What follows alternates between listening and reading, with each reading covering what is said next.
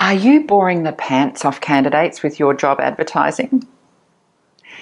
In a candidate short market, the first job you have is to get ahead of the crowd and have candidates seeing your job ad. So that's the first step.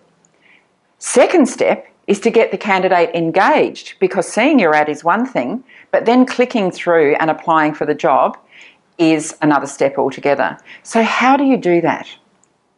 We use a technology or methodology called AIDA, based in marketing psychology.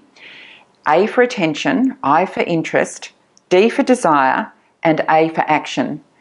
So essentially, what you're wanting to do is attract someone's attention, generate a level of interest, which creates desire for them to act. And in this case, the action is applying for your job.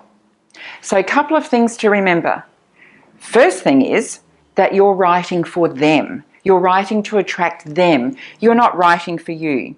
So don't make the whole intro a history of your company.